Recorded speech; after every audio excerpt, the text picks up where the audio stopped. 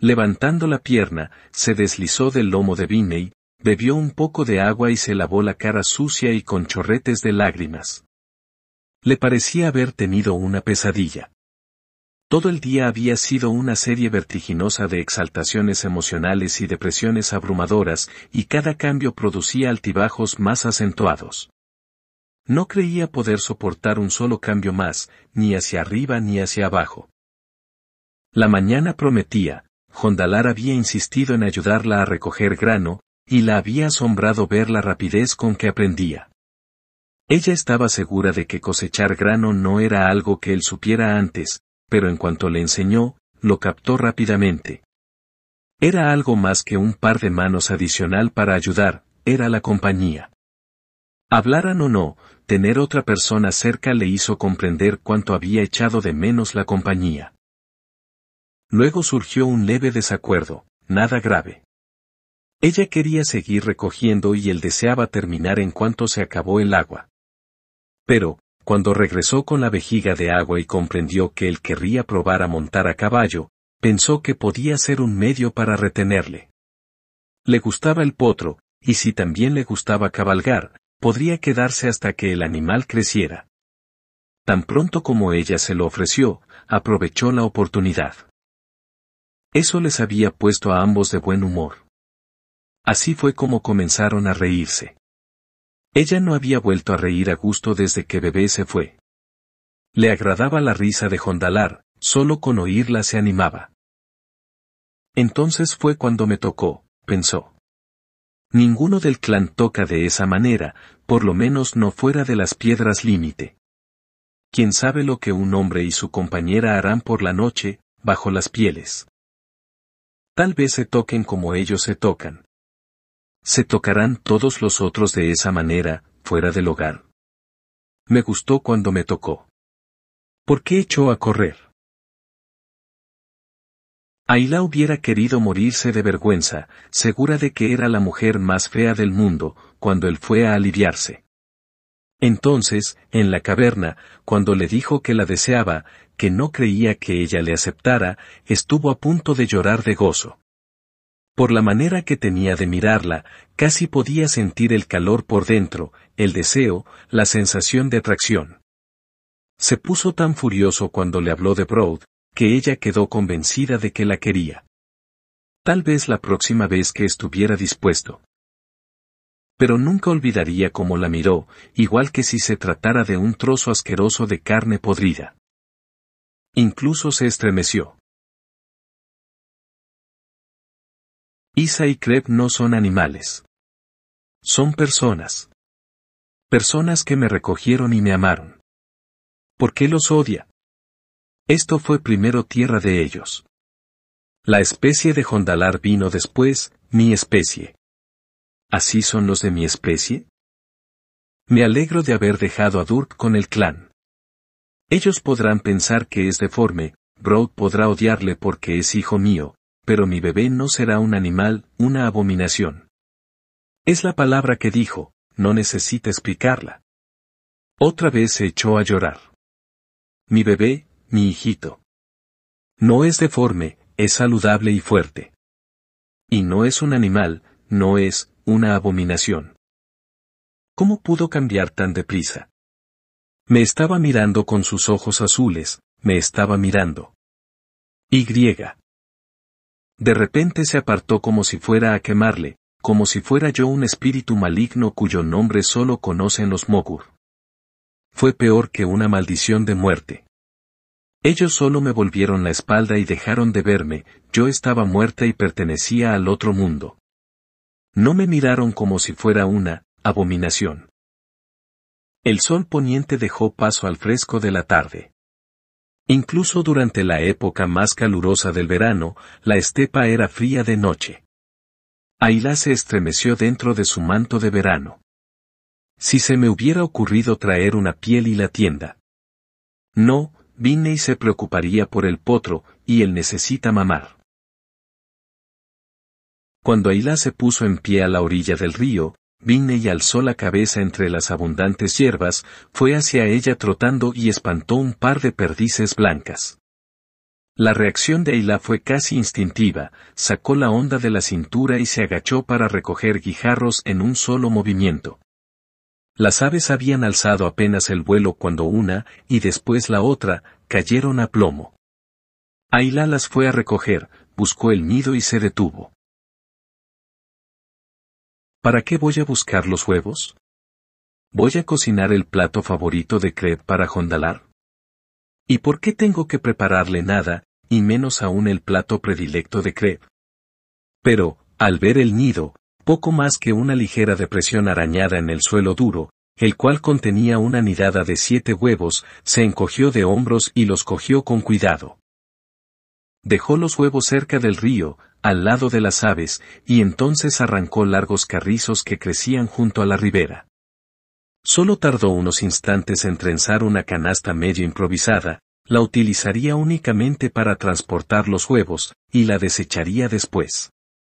Utilizó más carrizos para atar juntas las patas emplumadas del par de perdices, ya les estaban creciendo las abundantes plumas de invierno para andar por la nieve.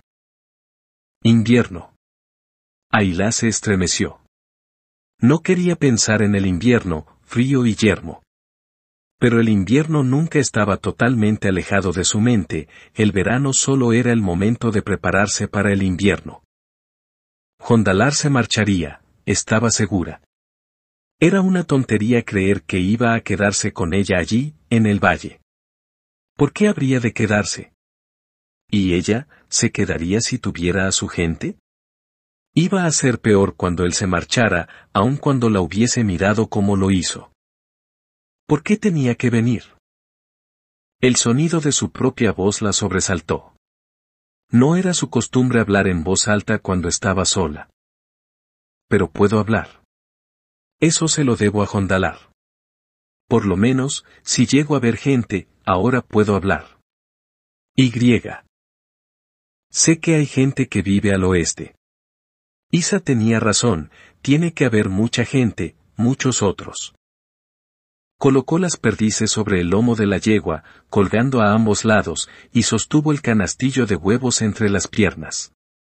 Yo nací de los otros. Busca un compañero, me dijo Isa. Creí que mi tótem me había enviado a Jondalar, pero si me lo hubiera enviado mi tótem, ¿me miraría de esa manera? ¿Cómo pudo mirarme de esa manera? Gritó, en un sollozo convulsivo. Oh, león cavernario, no quiero volver a estar sola.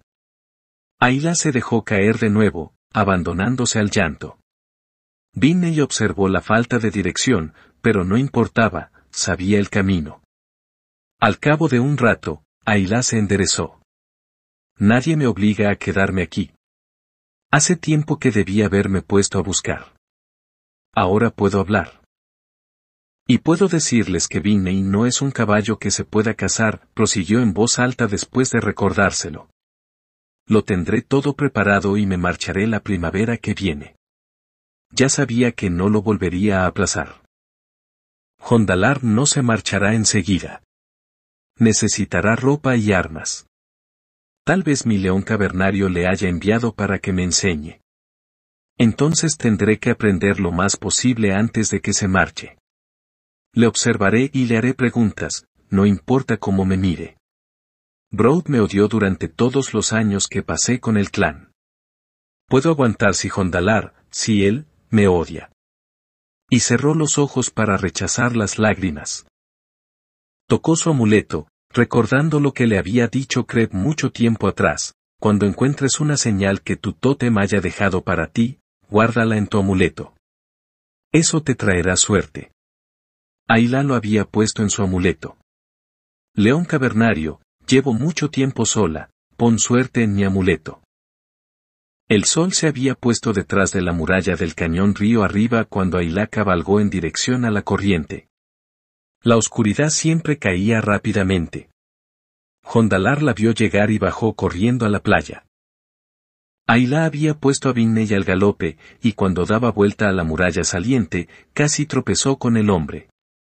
El caballo se encabritó, y poco faltó para que derribara a la mujer. Jondalar tendió la mano para retenerla, pero al sentir carne desnuda, apartó la mano, seguro de que le despreciaría. Me odia, pensó Ayla. No soporta siquiera tocarme. Ahogó un sollozo y mandó a y camino arriba. La yegua atravesó la playa pedregosa y subió ruidosamente por el camino con Ayla a cuestas. Esta echó pie a tierra a la entrada de la caverna y entró rápidamente, deseando tener otro lugar donde ir, quería esconderse. Dejó caer la canasta de los huevos junto al hogar, cogió una brazada de pieles y se las llevó al área de almacenamiento. Las tiró al suelo al otro lado del tendedero, en medio de canastas nuevas, esteras y tazones, se arrojó encima y se cubrió la cabeza con ellas. Ayla oyó los cascos de Binney momentos después, y enseguida los del potro. Estaba temblando, luchando contra las lágrimas, claramente consciente de los movimientos del hombre en la cueva. Deseaba que saliera para poder llorar. No oyó los pies descalzos sobre el piso de tierra cuando él se acercó, pero supo que estaba allí y trató de dominar su temblor. ¿Ayla? Ella no respondió. Ayla, no tienes que quedarte ahí atrás. Yo me mudaré. Iré al otro lado del fuego. Me odia. No puede soportar estar cerca de mí, pensó, ahogando un sollozo. Ojalá se vaya, ojalá se vaya sin más.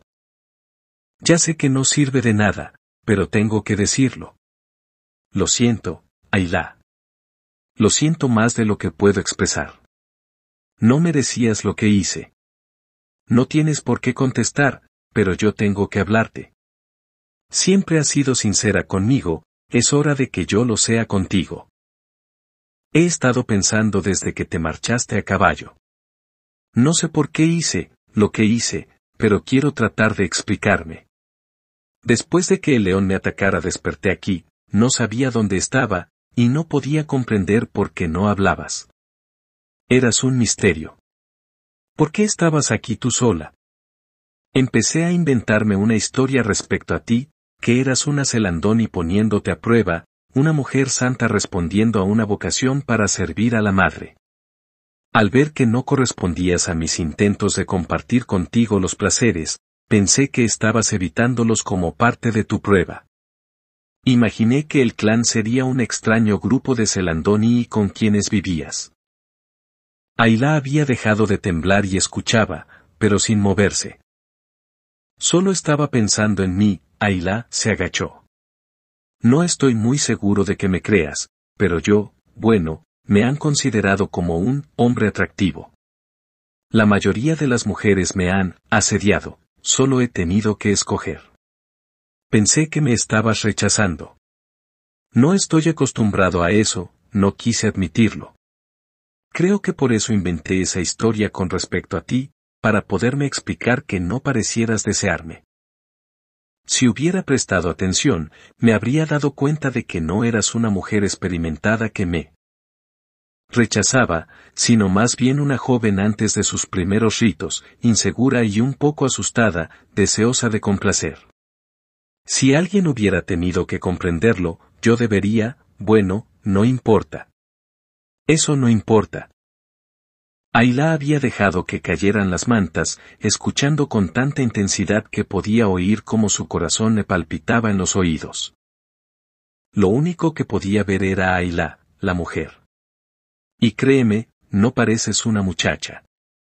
Creí que estabas bromeando cuando decías que eras alta y fea. No bromeabas, ¿verdad? De veras es así como te ves. Quizá para los Cab, la gente que te crió fueras demasiado alta y diferente, pero Ayla, tienes que saberlo, no eres alta y fea. Eres bella. Eres la mujer más bella que he visto en mi vida. Ella se había vuelto y se estaba sentando. ¿Bella? Yo. Se asombró. Y con una punzada de incredulidad, volvió a escurrirse entre las pieles por miedo a ser lastimada de nuevo. Te estás burlando de mí. Jondalar tendió la mano hacia ella, vaciló y la retiró. No puedo reprocharte que no me creas, después de lo de hoy. Quizá debería enfrentarme a eso y tratar de explicarme. Es difícil imaginar todo por lo que has pasado, huérfana y criada por gente tan diferente. Tener un hijo y que te lo quiten. Obligarte a abandonar el único hogar que conocías para enfrentarte a un mundo extraño, y vivir aquí, sola. Eres más dura de lo que cualquier mujer santa pensaría poder ser. Muy pocas habrían sobrevivido. Tú no eres solamente bella, Ailá, eres fuerte. Eres fuerte por dentro. Pero es probable que tengas que ser más fuerte aún. Tienes que saber los sentimientos de la gente respecto a los que tú llamas clan. Yo pensaba igual, la gente cree que son animales. No son animales. Pero yo no lo sabía, Ailá. Hay personas que odian a tu clan. Yo no sé por qué. Cuando pienso en ello, me doy cuenta de que los animales, los verdaderos animales a los que se da caza, no son odiados. Es posible que resulten temibles o tal vez amenazadores, las personas saben que los cabezas chatas, así los llaman también, Ailá, son humanos, pero son tan diferentes que resultan temibles o al menos están considerados como una amenaza. Sin embargo, algunos hombres obligan a mujeres cabeza chata a, no puedo decir compartir placeres, no es ni mucho menos la frase que corresponde, tal vez sea más acertada la expresión que tú utilizas, aliviar sus necesidades. No puedo comprender por qué, ya que hablan de ellas como si fueran animales. No sé si son animales, si los espíritus pueden mezclarse y nacer hijos. ¿Estás seguro de que son espíritus? Preguntó Ailá. Lo decía con tanta seguridad que se preguntó si no tendría razón. Sea como sea, tú no eres la única, Ayla, que tiene una mezcla de humano y cabeza chata por hijo, aunque la gente no habla. Son clan y son humanos, interrumpió. Ayla, vas a oír mucho esa palabra. Es justo decírtelo. También debes saber que cuando un hombre toma por la fuerza a una mujer del clan no es aprobado, pero se pasa por alto. Pero que una mujer, comparta placeres, con un macho cabeza chata es imperdonable ante los ojos de muchas personas. ¿Una abominación? Jondalar palideció, pero siguió adelante. Sí, Ailá, abominación.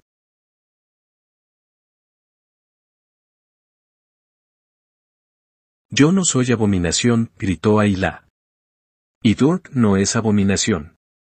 No me gustaba lo que me hacía Broad, pero no era una abominación. De haber sido cualquier otro hombre que lo hiciera solo por aliviar su necesidad y no con odio, yo le habría aceptado como cualquier otra mujer del clan. No es vergonzoso ser mujer del clan. Yo me habría quedado con ellos, incluso como segunda esposa de Broad, de haber podido. Solo por estar cerca de mi hijo. No me importa que haya gente que no lo apruebe. No podía por menos que admirarla, no iba a ser fácil para ella. Ayla, no te digo que debas avergonzarte. Solo te estoy diciendo lo que debes esperar. Quizá podrías decir que vienes de otra gente. Jondalar, ¿por qué quieres que diga palabras que no son ciertas? No sabría cómo.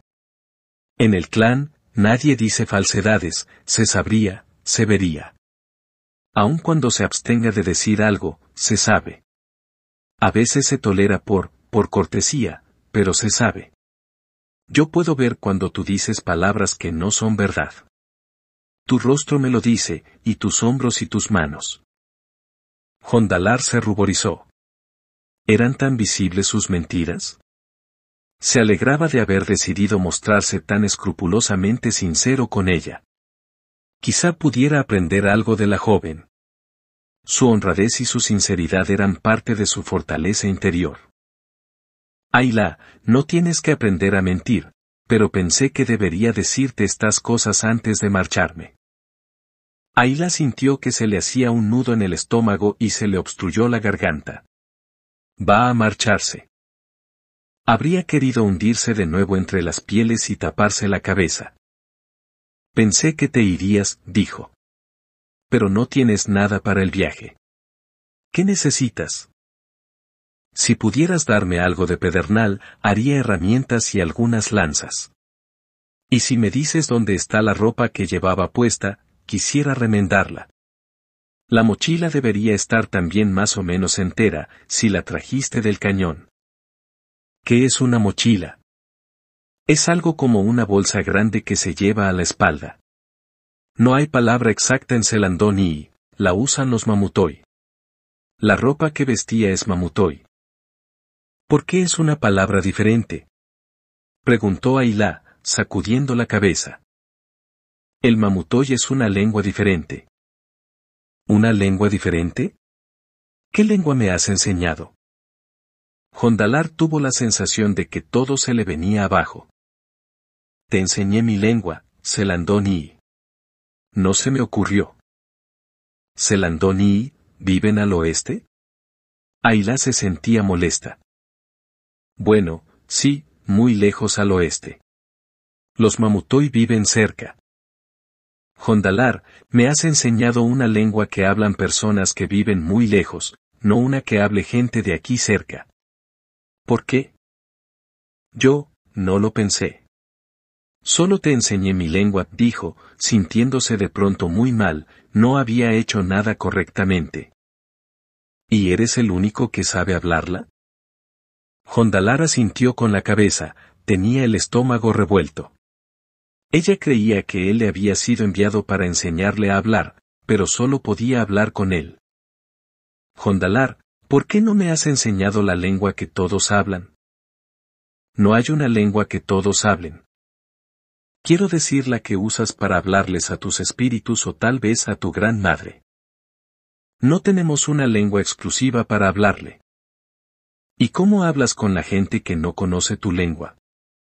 Aprendemos unos la de los otros. Yo sé tres lenguas y algunas palabras de otras pocas. Aila estaba temblando otra vez.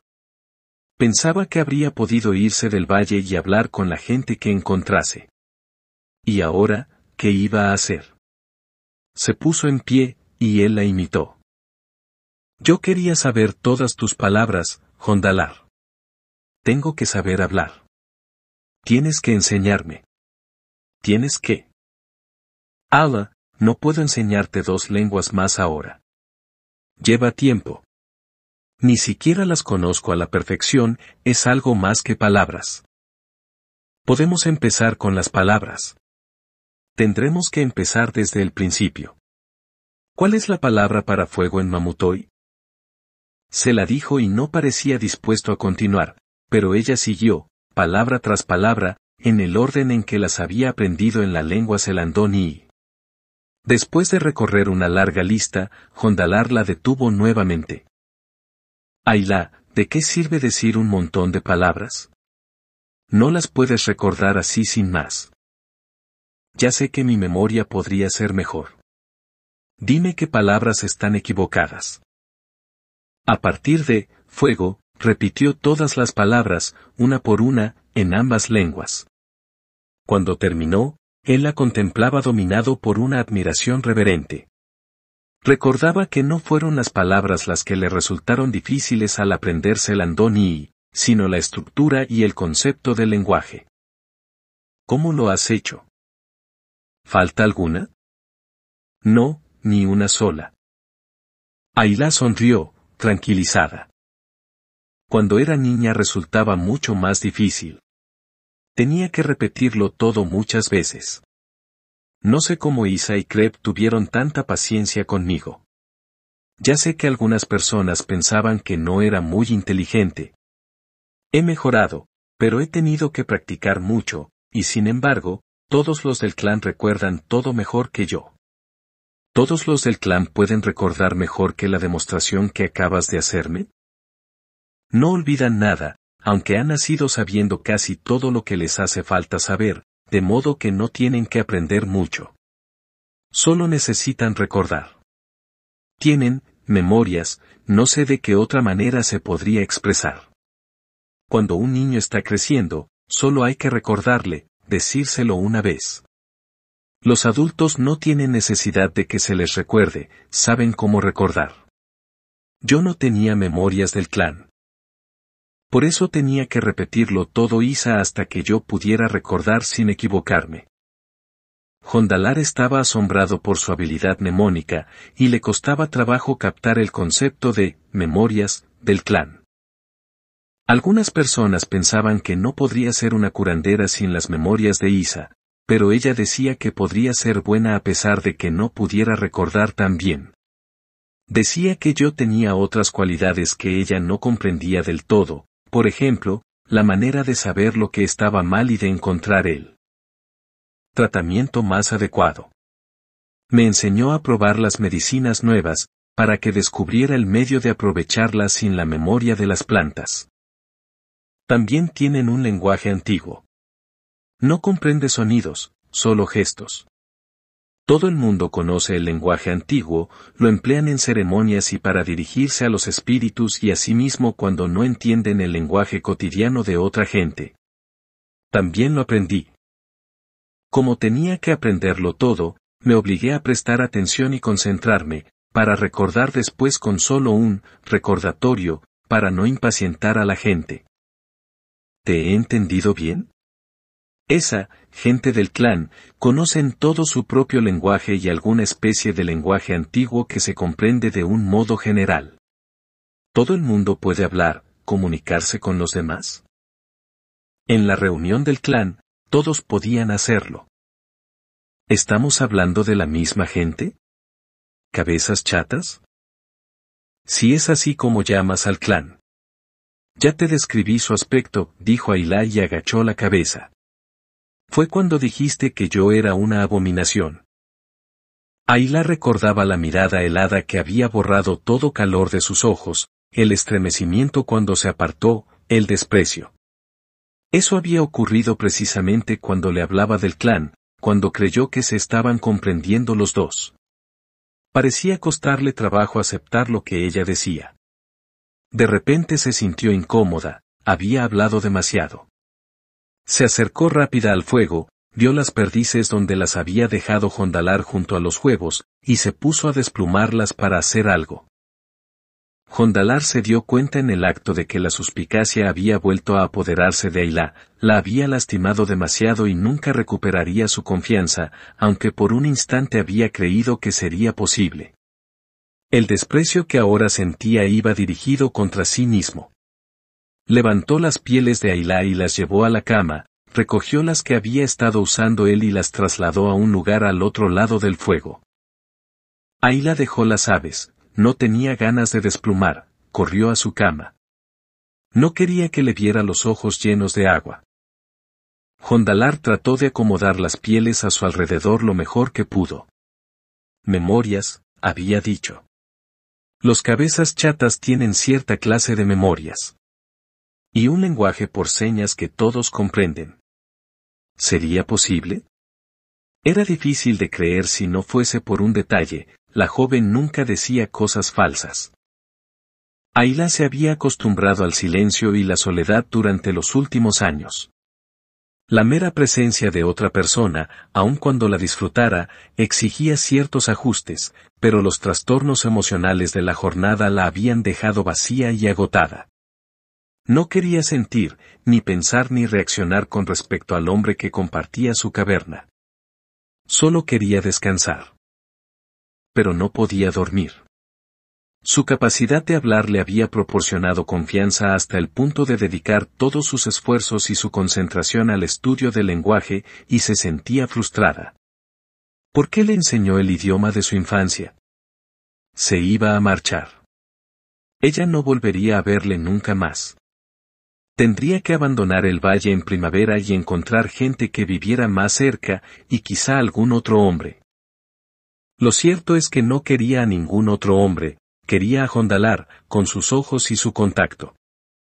Recordaba cómo se había sentido al principio. Él fue el primer hombre de su especie al que había visto y los representaba a todos en general. No era solo un individuo. No sabía cuándo había dejado de ser un ejemplo para convertirse en Jondalar, el único. Lo único que sabía era que echaba de menos el sonido de su respiración y su calor junto a ella. El vacío del lugar que él ocupó era casi tan grande como el vacío doloroso que sentía en su interior. Jondalar tampoco podía dormir. No encontraba la posición adecuada. El sitio que había ocupado al lado de ella se había quedado frío, y un sentimiento de culpabilidad le embargaba. No podía recordar haber vivido un día peor, y ni siquiera le había enseñado el lenguaje correcto. ¿Cuándo iba a tener la oportunidad de hablarse Landoni? Su gente vivía a un año de viaje del valle, y eso a condición de no detenerse mucho tiempo en ninguna parte. Pensó en el viaje que había realizado con su hermano. Todo parecía tan inútil. ¿Cuánto tiempo hacía que se fue? ¿Tres años? Eso significaba por lo menos cuatro años antes de que estuviera de vuelta. Y todo para nada su hermano muerto. Getamio muerta y también el hijo del espíritu de Tonolan. ¿Qué le quedaba? Jondalar había luchado por dominar sus emociones desde muy joven, pero también él tuvo que secarse el rostro con las pieles.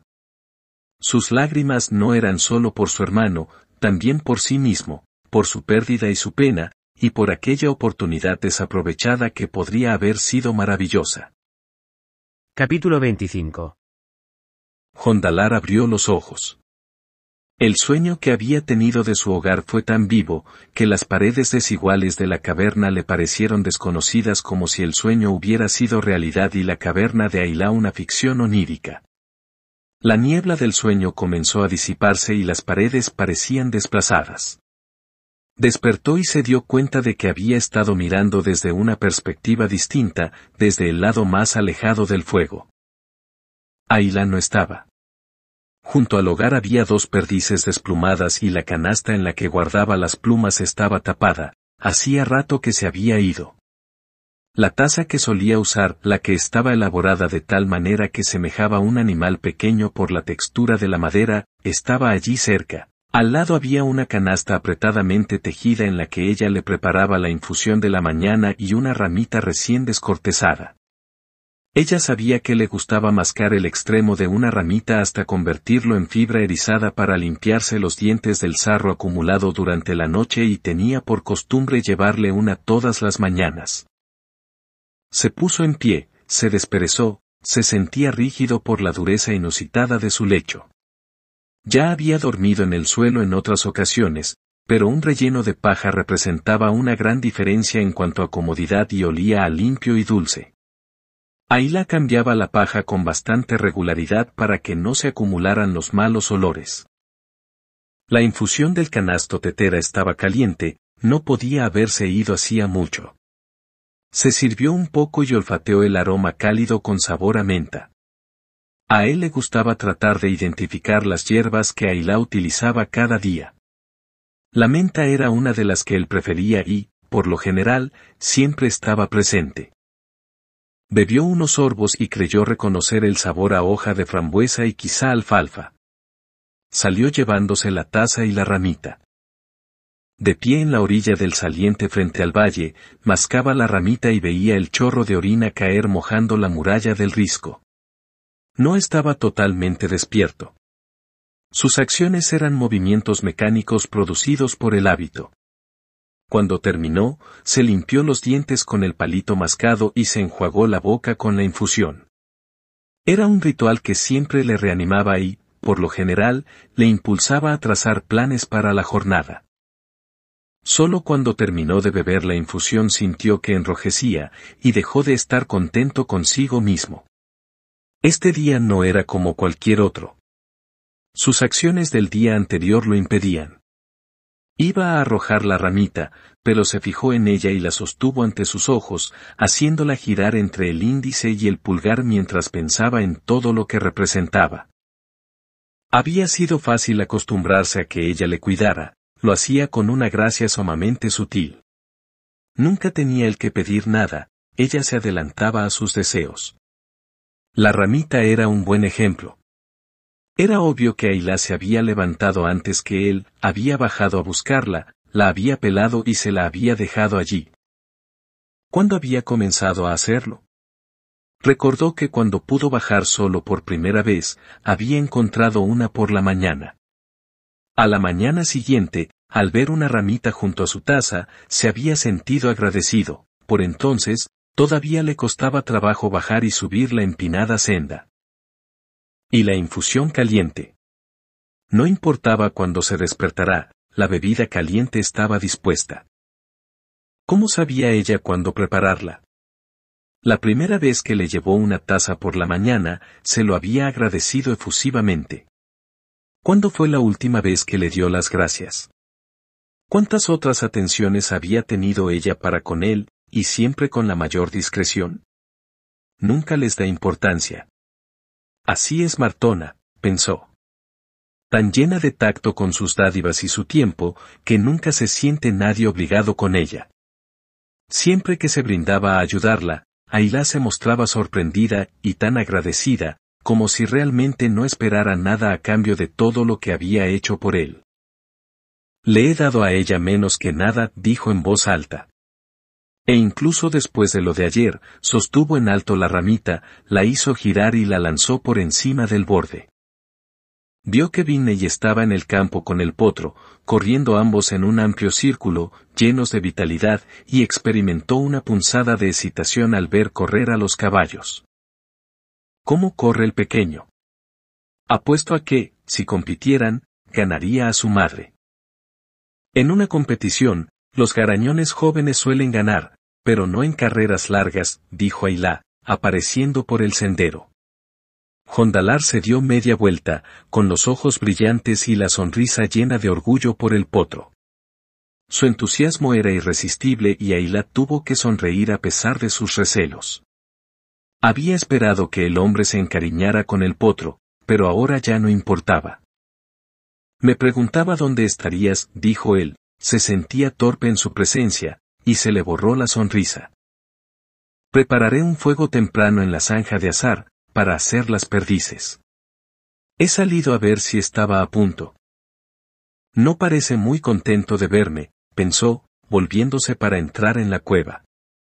También la sonrisa de ella se borró. Ayla llamó Jondalar, corriendo tras ella. Cuando la joven se volvió, ya no supo qué decirle. Yo, Ejem, me preguntaba, Ejem, quisiera hacer algunas herramientas. Si no te importa, claro. No quiero dejarte sin pedernal. No importa. Todos los años la crecida se lleva algo y trae más. Debe de arrancarlo de algún depósito gredoso río arriba. Si supiera que no está lejos, iría a buscarlo. Es mucho mejor cuando acaba de ser arrancado. Dalanar saca el suyo de un depósito que hay cerca de su caverna, y todo el mundo sabe de qué calidad es el sílex lanzadoni. El entusiasmo volvió a sus ojos, como sucedía siempre que hablaba de su oficio. Así era Drog, pensó Ayla. Le gustaba hacer herramientas y todo lo que se relacionaba con ellas. Sonrió para sí recordando el día en que Drog descubrió al hijo pequeño de Agá, el que nació después de que se unieran, golpeando una piedra contra otra. Drog se sintió tan orgulloso que le dio un martillo de piedra. Le gustaba enseñar el oficio, incluso no le importó enseñarme a mí, aunque era niña. Jondalar se dio cuenta de que pensaba en algo, y percibió la sombra de una sonrisa en el rostro femenino. ¿En qué estás pensando, Ayla? En Drog. Hacía herramientas. Solía permitir que yo le observara si me estaba calladita y no turbaba su concentración. Puedes mirarme a mí, si quieres, dijo Jondalar. En realidad, esperaba que me enseñaras tu técnica. Yo no soy experta. Puedo hacer las herramientas que necesito, pero las de Drog son mucho mejores que las mías. Tus herramientas son muy prácticas. Lo que quisiera ver es la técnica que empleas. Ayla asintió con la cabeza y entró en la cueva. Jondalar se quedó esperando y, al ver que no salía inmediatamente, se preguntó si habría querido decir ahora o más tarde. Se fue en su busca justo en el momento en que salía la joven, saltó hacia atrás tan deprisa que estuvo a punto de caerse. No quería ofenderla con un contacto involuntario. Ayla respiró hondo, cuadró los hombros y alzó la barbilla. Tal vez no soportaba estar cerca de ella, pero no iba a dejar que viera cuánto la ofendía. Pronto se iría. Echó a andar por el sendero llevando las dos perdices, el canasto con los huevos y un bulto grande, envuelto en un pedazo de cuero y sujeto con una cuerda. Deja que te ayude a llevar algo, dijo Jondalar, corriendo tras ella. Aila se detuvo lo suficiente para entregarle el canasto de huevos. Primero tengo que preparar las perdices, explicó, dejando el bulto en el suelo de la playa. Era una afirmación, pero Jondalar tuvo la impresión de que ella esperaba su consentimiento o por lo menos su asentimiento. No andaba muy descaminado. A pesar de sus años de independencia, los modales del clan seguían rigiendo muchas de sus acciones. No estaba acostumbrada a hacer otra cosa cuando un hombre había ordenado o solicitado que hiciera algo por él. Claro que sí, adelante. Tengo que buscar mis utensilios antes de poder trabajar el pedernal. Aila se llevó las gordas aves hacia el otro lado de la muralla, hasta el hoyo que había cavado antes y forrado de piedras. El fuego se había apagado en el fondo del hoyo, pero las piedras chisporrotearon cuando les echó unas gotas de agua. Había buscado en diversos puntos del valle la combinación exacta de verduras y hierbas y las había llevado hasta el horno de piedras. Recogió uña de caballo por su sabor ligeramente salado, ortigas amaranto y vistosas acederas y salvia, para dar sabor. El humo aportaría también su aroma, y la ceniza de madera, sabor a sal. Rellenó las perdices con sus huevos envueltos en verduras, tres huevos en una de las aves y cuatro en la otra. Siempre había envuelto las perdices en hojas de parra antes de meterlas en el hoyo, pero no crecían vides en el valle. Recordó que a veces se cocinaba el pescado envuelto en heno fresco, y decidió que también podría hacerse con las aves. En cuanto tuvo las aves colocadas en la parte inferior del hoyo, amontonó más hierba encima, después piedras, y lo cubrió todo de tierra. Jondalar tenía un surtido de herramientas de asta, hueso y piedra para tallar instrumentos alineados ante sí, algunos de los cuales Ailá reconoció. Sin embargo, otros le eran totalmente desconocidos. Ella abrió el bulto y puso sus utensilios al alcance de la mano, después se sentó y extendió el trozo de cuero sobre su regazo. Era una buena protección, el pedernal podía desmenuzarse en lajas finas y cortantes. Echó una mirada a Jondalar, que estaba mirando con mucho interés los trozos de hueso y piedra que ella había sacado. Él dejó cerca varios nódulos de pedernal. Ella vio que había dos junto a su mano, y recordó a Drog. La calidad de un buen artesano de herramientas comenzaba con la selección, recordó. Quería una piedra de grano fino, las miró, escogió la más pequeña. Jondalara sentía con la cabeza, aprobando inconscientemente. Ayla recordó al pequeño, que había mostrado su afición por la elaboración de herramientas cuando apenas gateaba. ¿Supiste siempre que trabajarías la piedra? Preguntó. Por algún tiempo pensé hacer metallista, incluso tal vez servir a la madre o trabajar con los que la sirven, una punzada de pena y nostalgia nubló su semblante. Entonces me mandaron a vivir con Dalanar y aprendí a tallar piedra. Fue una buena decisión, me gusta y soy bastante hábil. Nunca habría llegado a ser un buen tallista. ¿Qué es un tallista, Jondalar? Eso es lo que faltaba. Su exclamación hizo dar un respingo de consternación a la joven. No hay tallas, ni pinturas, ni cuentas, ni decoración. Ni siquiera colores. No comprendo. Lo siento, Ayla. ¿Cómo puedes saber de lo que estoy hablando? Un tallista es alguien que hace animales de piedra. Ayla arrugó el entrecejo. ¿Cómo se puede hacer un animal de piedra? Un animal es carne y sangre, vive y respira. No quiero decir un animal de verdad. Quiero decir una imagen, una representación. Un tallista reproduce la semejanza de un animal por la forma, hace que la piedra parezca un animal. Algunos tallistas hacen imágenes de la gran madre tierra, si tienen alguna visión de ella. ¿Una semejanza, de piedra?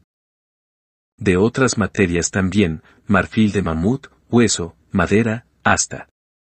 He oído decir que algunos hacen imágenes de barro. Por lo demás, he visto muy buenos parecidos logrados con nieve. Ayla había estado moviendo la cabeza, tratando de comprender, hasta que Jondalar dijo nieve, entonces recordó un día de invierno en que estuvo apilando tazones de nieve contra la pared, junto a la cueva. ¿No había imaginado por un instante que los rasgos de Bruna aparecían en aquel montón de nieve? ¿La semejanza con nieve? Sí, asintió, creo que comprendo. Jondalar no estaba seguro de que comprendiera, pero no se le ocurría mejor manera de explicárselo sin una talla que mostrarle. Qué monótona ha tenido que ser su vida, pensó, criándose con cabezas chatas. Incluso su ropa es simplemente útil. ¿Solo cazarían y dormirían? Ni siquiera apreciaban las dádivas de la madre. Ni belleza, ni misterio, ni imaginación. Me gustaría saber si puede comprender lo que se ha perdido. Ayla levantó el bloquecito de pedernal, tratando de decidir por dónde empezar. No haría un hacha de mano, incluso a Drog le parecía una herramienta bastante sencilla, aunque muy útil. Pero no creyó que fuera esa la técnica que Jondalar deseaba ver. Tendió la mano hacia un instrumento que faltaba en la serie de herramientas del hombre, el hueso de la pata de un mamut, ese hueso resistente que soportaría el pedernal mientras ella lo trabajaba para que la piedra no se astillase. Le dio vueltas hasta situarlo cómodamente entre sus piernas. Entonces cogió su martillo de piedra, no había diferencia entre el suyo y el de él, salvo que el de ella era más pequeño para que pudiera encajar en su mano.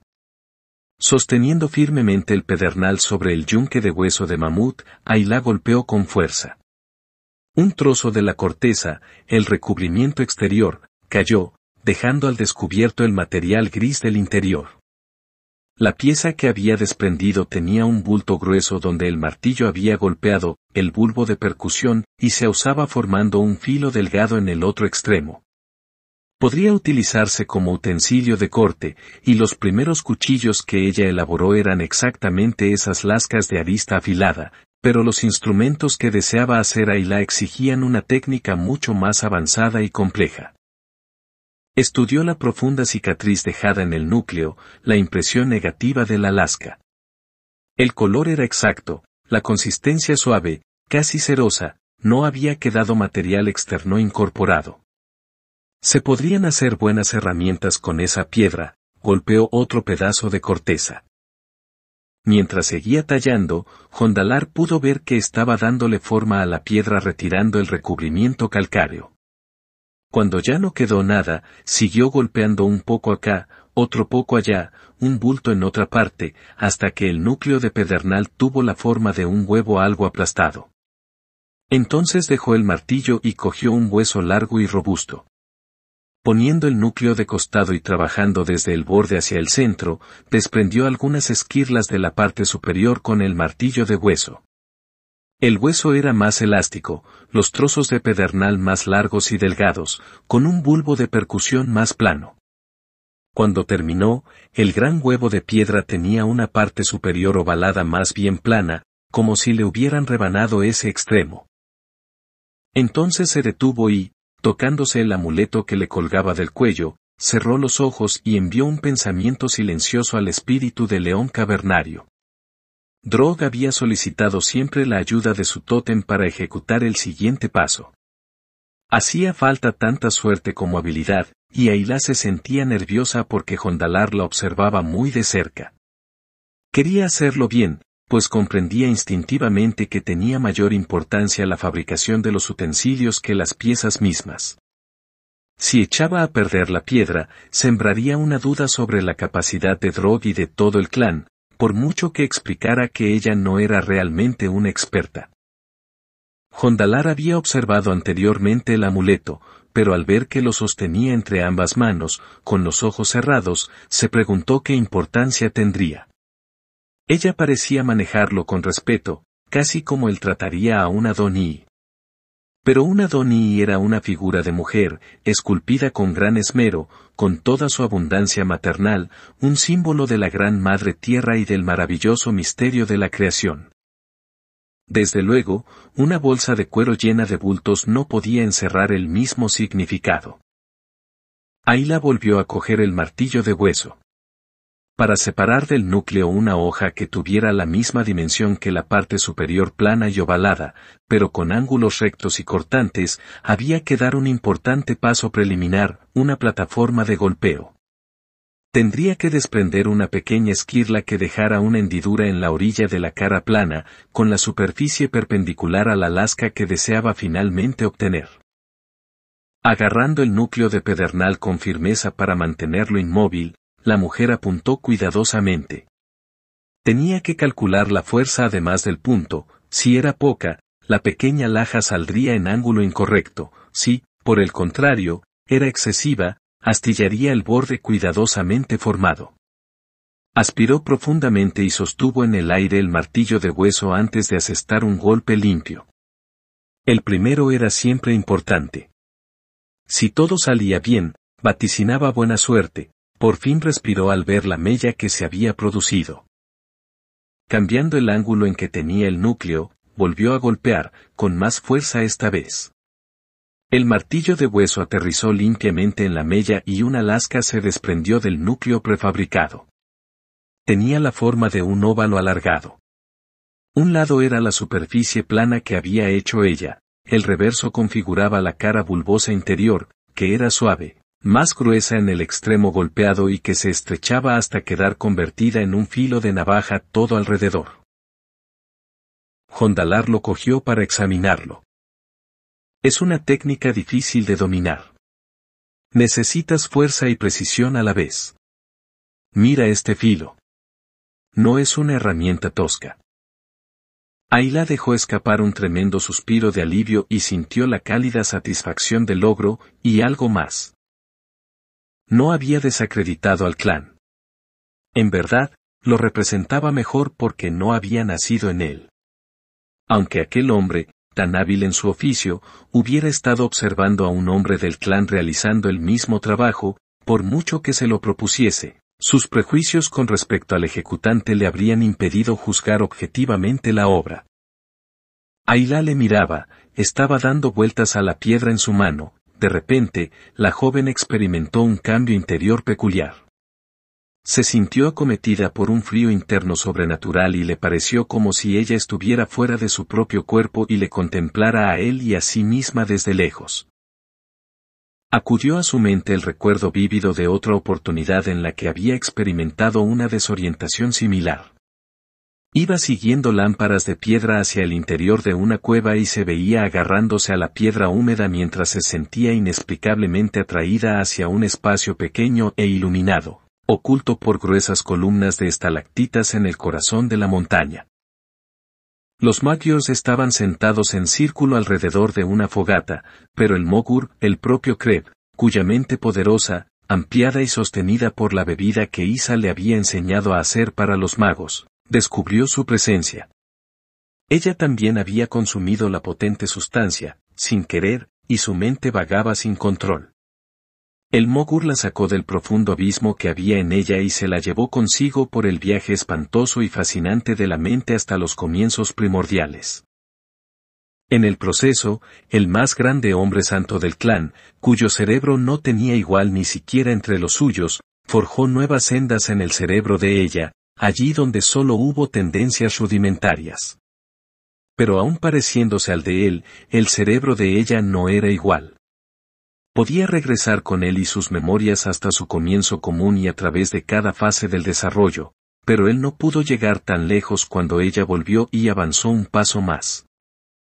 Ayla no comprendía lo que había herido tan profundamente a Kreb, solo sabía que eso les había cambiado, tanto a él como a la relación entre ambos.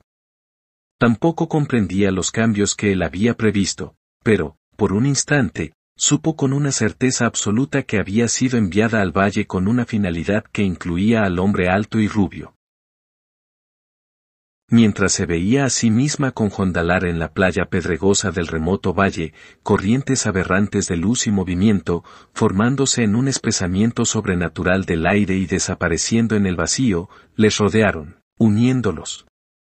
Ella sintió una vaga noción de su propio destino como nexo axial de muchos cabos que vinculaban pasado, presente y futuro por medio de una transición crucial. Un frío profundo se apoderó de ella, bostezó y, con un respingo, se encontró mirando unas cejas hirsutas y una expresión de alarma. Se sacudió para disipar una sensación fantástica de irrealidad. ¿Te encuentras bien, Ayla? Sí, sí, estoy bien. Un frío inexplicable había puesto la carne de gallina a jondalar y tenía erizado el vello de la nuca. Sintió un fuerte impulso de protegerla, pero sin saber contra qué amenaza. Solo duró un instante y trató de sacudirse aquella impresión, pero la inquietud subsistía. Creo que va a cambiar el tiempo, dijo. He notado un viento frío, ambos levantaron la vista hacia. El cielo azul y límpido, sin una sola nube. Es la temporada de las tormentas. Pueden ser repentinas. Jondalara sintió y entonces, para aferrarse a algo material, llevó la conversación al terreno de los prosaicos materiales de la fabricación de herramientas. ¿Y cuál es tu siguiente paso, Ayla? La mujer se enfrascó de nuevo en la tarea. Con gran concentración, talló cinco óvalos más de pedernal de filo cortante, después de un examen final del resto de la piedra para ver si podría desprenderle alguna otra lasca aprovechable, lo descartó. Entonces se volvió hacia los seis copos de pedernal gris y cogió el más fino de todos. Con una piedra suave, redonda y aplastada, retocó el largo filo, poniéndolo romo en la parte por donde se agarraba y afilándolo en punta en la parte opuesta al bulbo de percusión. Cuando quedó satisfecha, se lo tendió a jondalar en la palma de la mano. El hombre lo cogió y lo examinó detenidamente. Su sección transversal era gruesa, pero se afilaba a lo largo formando una arista fina y cortante. Era lo suficientemente grande para cogerlo con la mano, y el lomo lo bastante romo para no lastimar al usuario. En ciertos aspectos se parecía a la punta de lanza mamutoi, pero no estaba hecho para ponerle mango ni vara. Era un cuchillo de mano, y como la había visto manejar uno similar, sabía que era sorprendentemente eficaz. Jondalar lo dejó en el suelo, asintió con la cabeza y la invitó a continuar. Ayla recogió otra laja gruesa de piedra y, con ayuda de un diente canino de animal, se puso a astillar el extremo del óvalo. El proceso solo lo dejó ligeramente más romo, lo suficiente para fortalecer el borde de manera que el extremo agudo y redondeado no se rompiera al usarlo para rascar pelo y carne de las pieles. Ayla lo dejó y cogió otra pieza.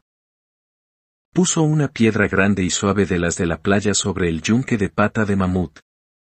Entonces, aplicando presión con el retocador de colmillo afilado sobre la piedra, hizo una muesca en forma de V en medio de un borde largo y afilado, lo suficientemente grande para afilar el extremo de un palo de lanza en forma de punta sobre una laja ovalada más grande, y aplicando una técnica similar, hizo una herramienta que podría utilizarse para hacer agujeros en cuero o madera, hasta o hueso. Ayla no sabía qué otras herramientas podría necesitar, de manera que decidió dejar las dos últimas lascas de pedernal disponibles para más adelante. Apartando la pata de mamut, recogió las puntas del cuero y lo llevó hasta el basurero al otro lado de la muralla para sacudirlo, las aristas de pedernal eran lo suficientemente agudas para cortar el pie descalzo más duro. Nada había dicho Jondalar de las herramientas recién hechas, pero Aila observó que las estaba mirando por todos los lados, sosteniéndolas en la mano como para probarlas. Quisiera utilizar tu protector de cuero, dijo. Ayla se lo entregó, contenta de haber terminado con su demostración y esperando con fruición ver la suya. Jondalar extendió el cuero sobre sus rodillas, cerró entonces los ojos y pensó en la piedra y en lo que haría con ella. A continuación, cogió uno de los nódulos de pedernal que había llevado y lo examinó. El duro mineral silicio había sido desprendido de depósitos calcáreos asentados durante el periodo Cretáceo. Todavía llevaba huellas de sus orígenes en el recubrimiento exterior, aunque había sido arrancado por la corriente violenta y golpeado en el angosto cañón río arriba, antes de ser lanzado a la playa pedregosa. El pedernal era el material más eficaz que se presentaba en forma natural para hacer herramientas. Era duro y, sin embargo, gracias a su estructura cristalina tan fina, podría trabajarse, el aspecto que pudiera adquirir dependía tan solo de la habilidad del trabajador. Jondalar estaba buscando las características distintivas del pedernal de Calcedonia, el más puro y más claro. Cualquier piedra que tuviera rajas o esquirlas la descartaba, así como las que, al ser golpeadas con otra piedra, indicaban, por su sonido, que tenían fallas o material extraño. Finalmente escogió una.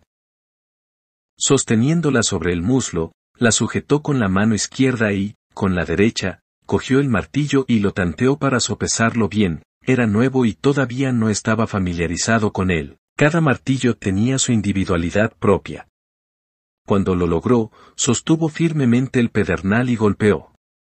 Se desprendió un trozo grande de la corteza de un blanco grisáceo. Por dentro, el pedernal tenía un matiz de gris más claro que el que había empleado Ailá, con un reflejo azulado. Textura fina, una buena piedra, buena señal. Volvió a golpear una y otra vez. Ayla estaba lo bastante familiarizada con el proceso para reconocer de inmediato su pericia. Superaba con mucho la habilidad que ella pudiera tener. Al único que había visto trabajar la piedra con una confianza tan certera había sido Adrog. Pero la forma que estaba dando Jondalar a su piedra no se parecía a ninguna de las que hiciera el especialista del clan. Se inclinó más para observar. Cada martillo tenía su individualidad propia. Cuando lo logró, sostuvo firmemente el pedernal y golpeó. Se desprendió un trozo grande de la corteza de un blanco grisáceo. Por dentro, el pedernal tenía un matiz de gris más claro que el que había empleado Ailá, con un reflejo azulado. Textura fina, una buena piedra, buena señal. El núcleo de Jondalar, en vez de tomar forma ovoide, se estaba volviendo más cilíndrico, aunque no exactamente circular. Al desprender lascas a ambos lados, estaba creando un borde que seguía el cilindro a lo largo. El borde era todavía tosco y desigual cuando se desprendió la corteza, y Jondalar dejó el martillo para coger un buen trozo de cornamenta que había sido cortado por debajo de la primera bifurcación para eliminar las ramas. Con el martillo de hasta desprendió trozos más pequeños a fin de que el borde quedara recto. También él preparaba su núcleo, pero no se proponía quitar gruesas lascas según una forma previamente determinada, eso le resultaba obvio a Ayla.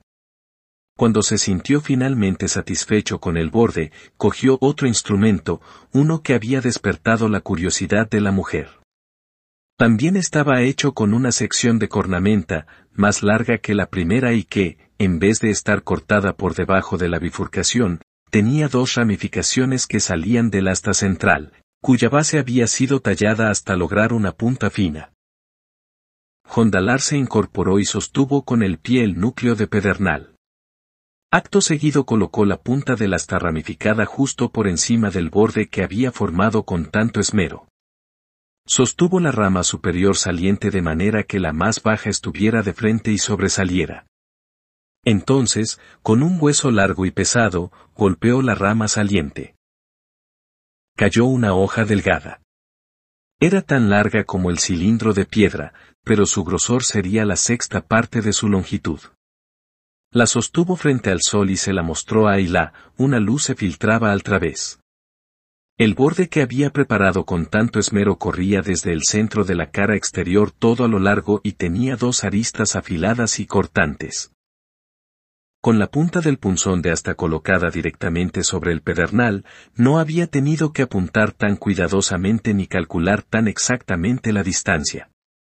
La fuerza de la percusión iba dirigida con exactitud hacia donde él quería, con la fuerza del golpe repartida entre los objetos resistentes intermedios, el martillo de hueso y el punzón de asta. Casi no había bulbo de percusión. La hoja era larga y estrecha y de una delgadez uniforme. Sin tener que calibrar tan cuidadosamente la fuerza del golpe, Jondalar controlaba mucho mejor los resultados. La técnica de Jondalar para trabajar la piedra representaba un progreso revolucionario, pero tan importante como la hoja que producía era la cicatriz que dejaba en el núcleo. El borde preparado había desaparecido, en su lugar había una larga depresión con dos bordes a cada lado. Tal había sido la finalidad del cuidadoso trabajo previo. Apartó la punta del punzón para ponerla encima de uno de los dos bordes y volvió a golpear con el martillo de hueso. Cayó otra hoja delgada y larga, dejando otros dos bordes detrás. Jondalar movió de nuevo el punzón sobre otro de los bordes, desprendió otra hoja y formó más aristas.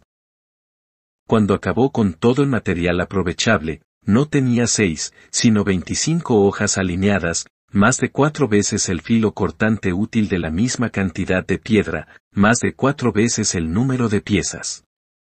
Largas y delgadas, con filos tan agudos como los de un escalpelo, las hojas podrían aprovecharse para cortar tal como estaban, pero no constituían el producto terminado. Más adelante serían elaboradas para multitud de usos, especialmente para hacer herramientas. Según el filo y la calidad del nódulo de pedernal, se podría sacar, no cuatro, sino de seis a siete veces el número utilizable de piezas para hacer herramientas, con piedras de un mismo tamaño, aplicando la técnica más avanzada. El nuevo método no solo proporcionaba un mayor control al operario, sino que suponía una ventaja sin igual para su gente. Jondalar cogió una de las hojas y se la entregó a Ailá. Esta comprobó ligeramente lo cortante del filo con su dedo pulgar, ejerció un poco de presión para reconocer su fuerza y la volvió sobre su mano. Se curvaba en los extremos, eso era debido a la naturaleza del material, pero más visible en la hoja larga y delgada. Sin embargo, la forma no limitaba sus funciones. Jondalar, esto es, no sé la palabra. Es maravilloso, importante, Has sacado tantas. No has terminado con estas, ¿verdad? No, todavía no, contestó Jondalar, sonriendo. Son tan delgadas y tan finas, son bellas. Pueden romperse más fácilmente, pero creo que si se retocan los extremos, pueden ser unos rascadores fuertes, su espíritu práctico estaba ya convirtiendo en herramientas las piedras sin forma definida. Sí, y como los tuyos, buenos cuchillos, aunque quiero hacerles una espiga para ponerles mango. Yo no sé lo que es, espiga. Jondalar cogió una hoja para explicárselo. Puedo matar el lomo y afilar un extremo en forma de punta, y tendré un cuchillo. Si quito unas cuantas lascas de la cara interior, podré incluso enderezar algo la curva. Ahora bien, si presiono a medio camino de la hoja, para romper el borde y formar un saliente, habré hecho una espiga. Cogió un pequeño fragmento de asta. Si encajo la espiga en un trozo de hueso, madera o hasta como este, el cuchillo tendrá mango. Es más fácil de usar con mango. Si pones a coser el asta durante un rato, se hinchará y se ablandará, y entonces podrás meterle la espiga en el centro, donde está más blando. Una vez seco el trozo de asta, se encoge y aprieta la espiga. A menudo se sostiene, sin tener que amarrarlo ni pegarlo, durante mucho tiempo. Ayla estaba muy excitada con el nuevo método y deseaba ponerlo en práctica, como siempre había hecho después de observar a Drog pero ignoraba si con ello violaría las costumbres o tradiciones de Jondalar. Cuanto más sabía de las costumbres de su gente, menos las entendía. No pareció importarle que ella casara, pero tal vez no quisiera que ella hiciera la misma clase de herramientas que él. Me gustaría probar. ¿No hay inconveniente en que las mujeres hagan herramientas? La pregunta agradó al joven. Se necesitaba habilidad para fabricar la clase de herramientas que ella hacía. Estaba seguro de que incluso el mejor especialista obtenía a veces resultados absurdos, aun cuando también el peor podría sin duda producir accidentalmente algunas piezas aprovechables. En cualquier caso, habría entendido que Ayla tratara de justificar su propio método. En cambio, parecía reconocer su técnica como lo que era un gran progreso y deseaba probarla. Se preguntó cómo se sentiría él si alguien le mostrara un progreso tan radical. Querría aprenderlo, se dijo con una mueca irónica. Las mujeres pueden tallar bien el pedernal. Mi prima Joplaya es una de las mejores. Pero es una terrible provocadora, nunca se lo diría, no me permitiría olvidarlo nunca jamás, y sonrió al recordar. En el clan, las mujeres hacen herramientas, pero no armas. Las mujeres hacen armas. Después de tener hijos, las mujeres el andoni y pocas veces cazan, pero si aprendieron de jóvenes, conocen la manera de usar las armas. Durante una cacería se pierden muchas herramientas y armas. El hombre cuya esposa sabe hacerlas, siempre tiene un buen surtido. Y las mujeres están más cerca de la madre. Algunos hombres creen que las armas hechas por mujeres tienen más suerte. Pero si un hombre tiene mala suerte o carece de habilidad, siempre echará la culpa a quien hizo las armas, especialmente si es una mujer. ¿Podría yo aprender? Cualquiera que sea capaz de hacer herramientas como las que haces tú, aprenderá fácilmente a hacerlas de esta manera. Él había contestado a su pregunta en un sentido algo distinto del que ella quería. Sabía que era capaz de aprender, lo que pretendía averiguar era si estaba permitido. Pero su respuesta la hizo pararse a pensar. No, no creo que sea posible. Claro que puedes aprender. Ya sé que puedo aprender, Jondalar, pero no es fácil que cualquiera que haga herramientas a la manera del clan pueda aprender a hacerlas a tu manera. Algunos podrían, creo que Drog podría, pero todo lo que sea nuevo les resulta difícil. Aprenden de sus memorias. Al principio Jondalar creía que estaba bromeando, pero hablaba en serio. ¿Podría tener razón? Si tuvieran la oportunidad, los Cab, los especialistas del clan, serían realmente incapaces de aprender, aunque no por falta de voluntad. Entonces se le ocurrió que él nunca habría creído que fueran capaces siquiera de hacer herramientas, y de eso hacía poco tiempo. Sin embargo, hacían herramientas, se comunicaban y recogieron a una niña ajena. Había aprendido más cosas de los cabezas chatas en los últimos días que ninguna otra persona, exceptuando a Ayla. Tal vez fuera útil enterarse de algo más acerca de ellos, tal vez. Parecía haber en ellos mucho más de lo que la gente pensaba. Al pensar en los cabezas chatas recordó de pronto lo sucedido el día anterior y un repentino rubor encendió su rostro. Debido a su concentración en hacer herramientas, se le había olvidado.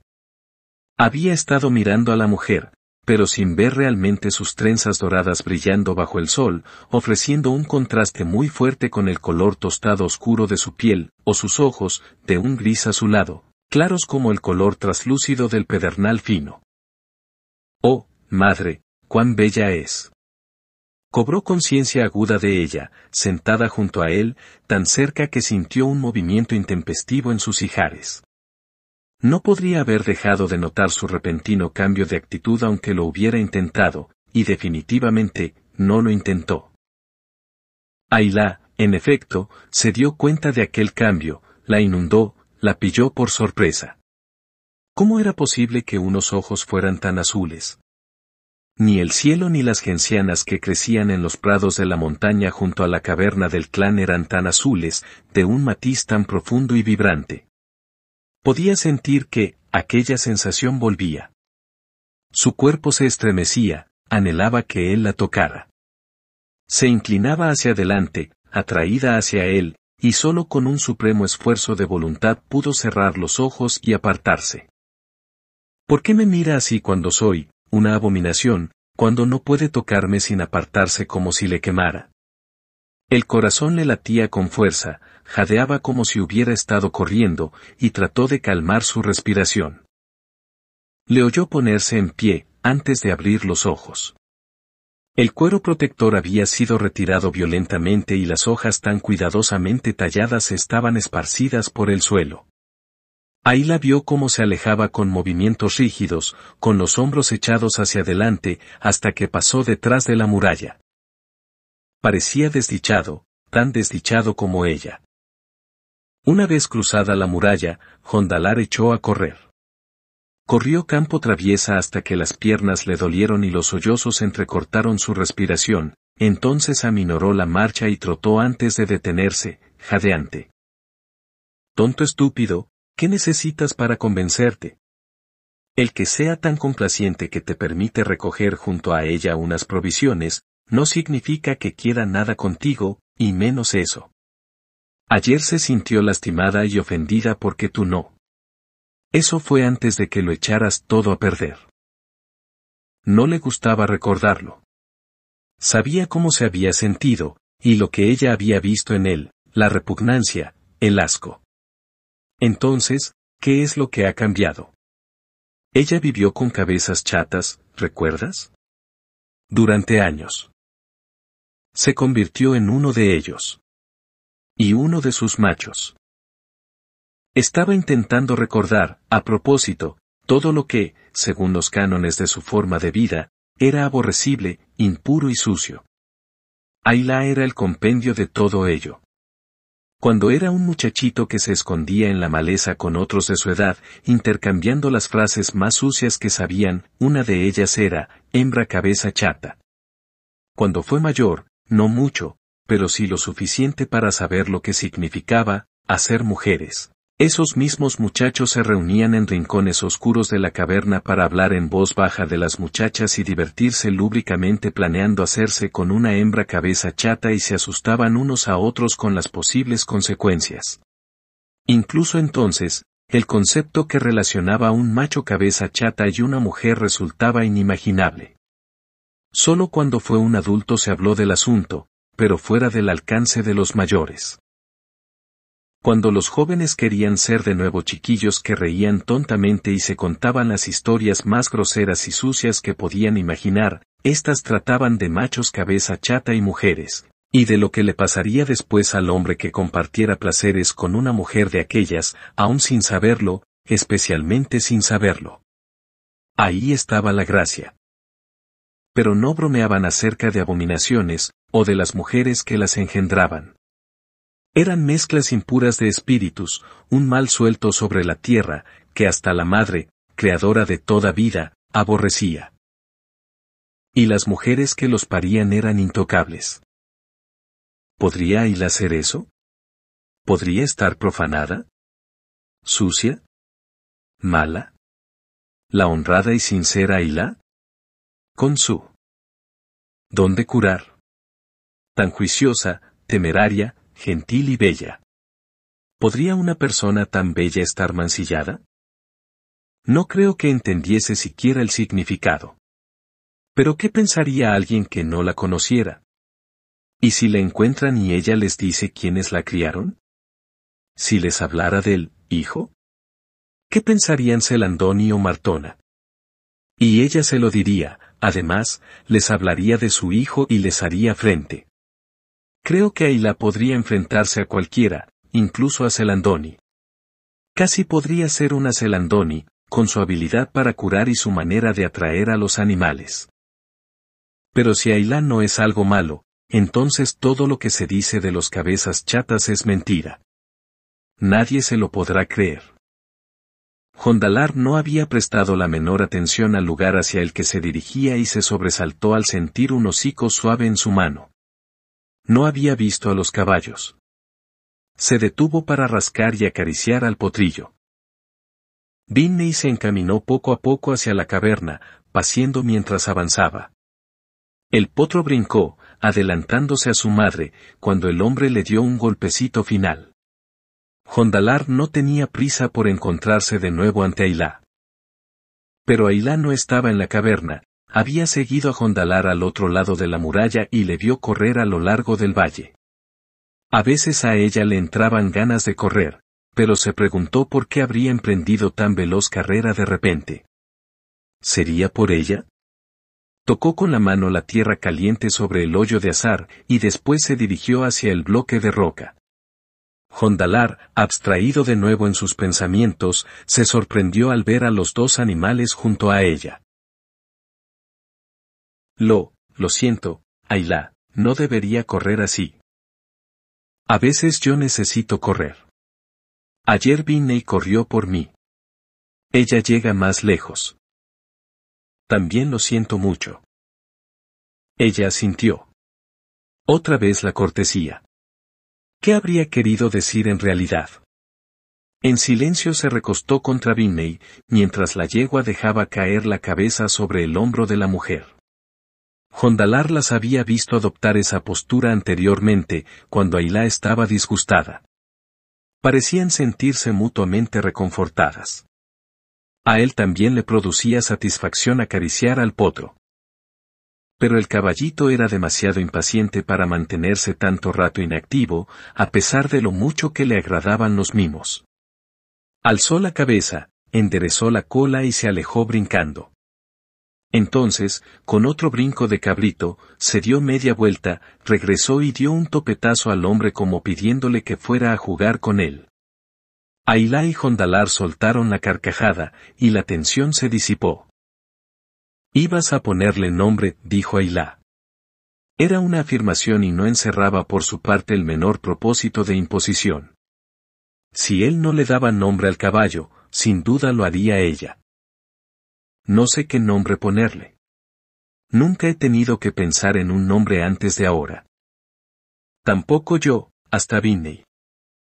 ¿Y a tu hijo, tú le pusiste nombre? Kreb se lo puso. Durk era el nombre de un joven de una leyenda. Era mi predilecta entre todos los cuentos y leyendas. Kreb lo sabía.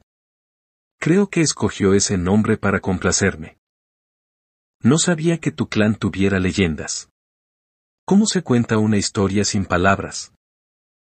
Lo mismo que la cuentas con palabras, pero en algunos aspectos es más fácil contar algo por medio de gestos y ademanes. Supongo que es así, dijo Jondalar, preguntándose qué clase de historias contarían con semejante sistema. No se podía imaginar que los cabezas chatas fueran capaces de inventar historias. Ambos estaban mirando al potro que, con la cola al viento y la cabeza hacia adelante, disfrutaba de una buena carrera. ¿Qué semental va a ser? pensaba Jondalar. ¡Qué corredor! Corredor. exclamó. ¿Qué te parece si le ponemos corredor?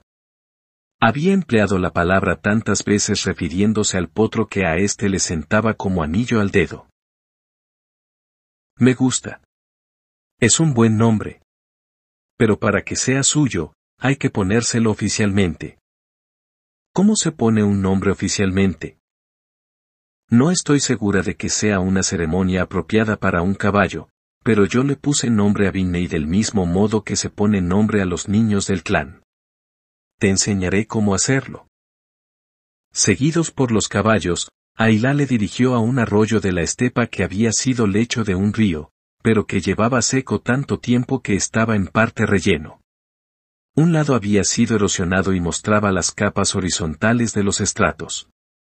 Ante el asombro de Jondalar, Ailá aflojó una capa de ocre rojo con un palito y recogió con ambas manos la tierra de un rojo oscuro. De vuelta al río, mezcló la tierra roja con agua hasta formar una pasta lodosa. Kreb mezclaba el color rojo con grasa de oso cavernario, pero yo no tengo, y de todos modos creo que un nodo simple será mejor para un caballo, se seca y se le cae. Lo que cuenta es ponerle nombre, tendrás que sujetarle la cabeza. Jondalar hizo unas señas, el potro tenía ganas de retosar, pero comprendió el gesto. Se quedó quieto mientras el hombre le pasaba un brazo alrededor del cuello y se lo rascaba. Ayla ejecutó varios movimientos en el antiguo idioma solicitando el favor de los espíritus. No quería que la ceremonia fuera demasiado seria. Todavía no estaba segura de que los espíritus no se ofendieran porque ponían nombre a un caballo, aunque el ponérselo a Binney no había tenido malas consecuencias. Entonces tomó un puñado de lodo rojo. El nombre de este caballo macho es corredor, dijo, haciendo los gestos mientras hablaba. A continuación untó de tierra roja y mojada la cara del animal, desde el mechón blanco de la frente hasta el extremo de su largo hocico. Fue todo muy rápido, antes de que el potro pudiera zafarse del abrazo de Jondalar.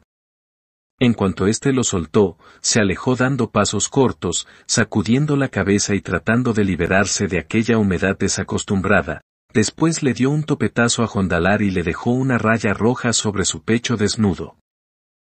Creo que acaba de ponerme nombre a mí, dijo el hombre, sonriente.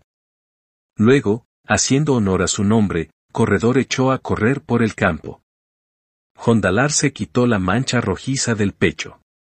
¿Por qué has empleado esto, la tierra roja? Es especial, santo, para espíritus, explicó Ailá. ¿Sagrado? Nosotros decimos sagrado. La sangre de la madre. La sangre, sí. Kreb, el Mokur, frotó con un ungüento de tierra roja y grasa de oso cavernario el cuerpo de Isa, después de que su espíritu se fuera. Decía que era la sangre del nacimiento, para que Isa pudiera nacer en el otro mundo, recordarlo todavía le causaba pena. Jondalar abrió mucho los ojos. Los cabezas chatas, quiero decir, ¿Tu clan utiliza la tierra sagrada para enviar un espíritu al otro mundo? ¿Estás segura? Nadie queda debidamente enterrado de no ser así. Ayla, nosotros utilizamos la tierra roja. Es la sangre de la madre. Se pone en el cuerpo y la tumba para que se lleve de regreso el espíritu a su seno a fin de nacer de nuevo, una expresión de dolor cruzó por su rostro. Tonolan no tuvo tierra roja. No tenía para él, Jondalar, y no contaba con el tiempo necesario para conseguirla. Tenía que traerte aquí, pues de lo contrario habría hecho falta una segunda tumba. Les pedí a mi tótem y al espíritu de Ursus, el gran oso cavernario, que le ayudaran a encontrar su camino. ¿Lo enterraste? ¿Su cuerpo no quedó para los depredadores? Puse su cadáver junto a la muralla y desprendí una roca para que la grava y las piedras lo cubrieran. Pero no tenía tierra roja. Para Jondalar, lo más difícil era la idea de los entierros de los cabezas chatas. Los animales no enterraban a sus muertos. Solo los humanos se preocupaban en pensar de dónde procedían y a dónde irían después de morir.